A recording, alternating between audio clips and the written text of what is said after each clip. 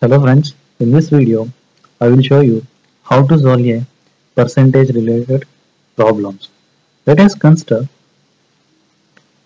a salary is 50 percentage more than B salary. Okay, B salary. Then what percentage of what percentage of B's salary is less than A. So how to solve this question? Okay, the question is A salary is 50 percentage more than B salary. Then what percentage of B salary is less than A? So let's take A salary is equal 50 percentage more than the B salary. So that means we have to take the 100 percentage of B salary. 100 percentage is represented by the fraction 1 by 1 plus 50 percentage more. So the fraction equivalent to 50 percentage is 1 by 2 of B salary. Okay. So A is equal 1 plus 1 by 2 into B. A is equal 3 by 2 of B. So then the same equation can be written as B is equal 2 by 3 of A. Okay. So what percentage less than of A we have to find. So if you see initially A is 100% but here A is 2 by 3. So how much percentage it is reduced? That is 1 by 3 percentage is reduced. Okay. So that means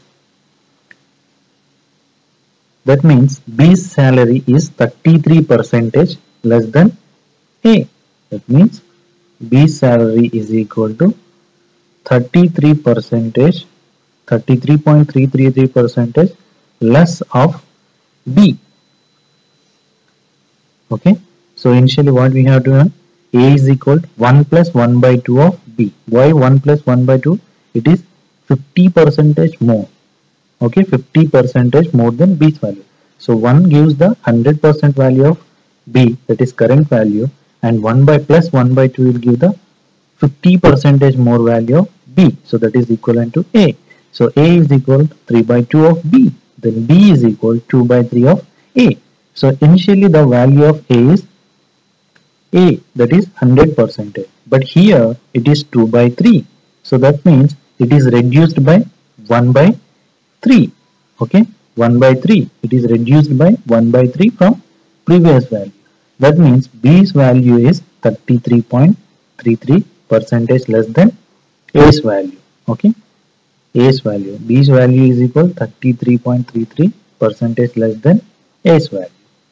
Let's see another example. So A's salary is 20 percentage more than B. Then what percentage of B is less than A? Okay. So A salary is equal 20 percentage. So that is 1.2 into B. Okay. So 1.2 into B. So this is going to be B is equal to 10 by 12 of A. So initially it is A. Now the current value of A is 10 by 12. That means A is reduced by 2 by 12 equivalent to 1 by 6. 1 by 6 is equivalent to 16.66 percentage. That means B is 16.66 percentage less than A.